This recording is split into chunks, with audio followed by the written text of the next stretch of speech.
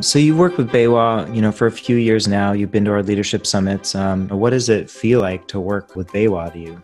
It feels more personal. But when I was at the summit, there were contractors of all shapes and sizes. There were uh, guys in a truck, and then there were companies like Sunbadger that were right uh, in the middle, uh, riding the growth, so to speak, with 40 or 50 employees. And then there were big dogs there.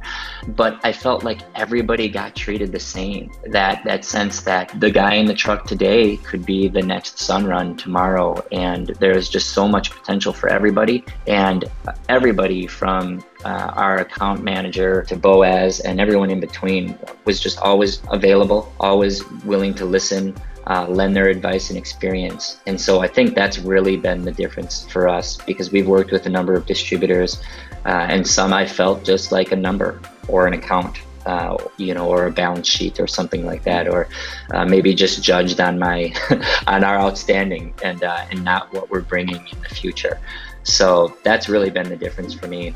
Boaz, why is BayWa interested in working with companies like Sunbadger?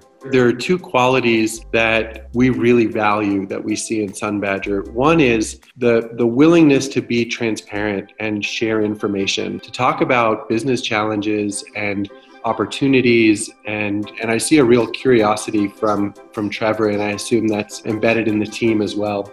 And I have a sense that Sunbadger really is engaged in its own continual improvement. So many people have a fixed mindset as opposed to a growth mindset. Pe- people are often trying to be the smartest person in the room instead of trying to be the best learner they can be. And I really have a sense that uh, Trevor and Sunbadger are learners and value more than transactions, right? The same thing you're saying, Trevor, about other suppliers valuing Sunbadger for a transaction goes the other way around too there are contractors who really approach us as a, as a partner and want to share learning with us and go beyond the transaction into what are we really trying to do here and how do we execute more effectively together. So yeah, I mean, so far it's been a awesome relationship and I really value it and appreciate it and I'm honored to to be here talking about it with you, Trevor.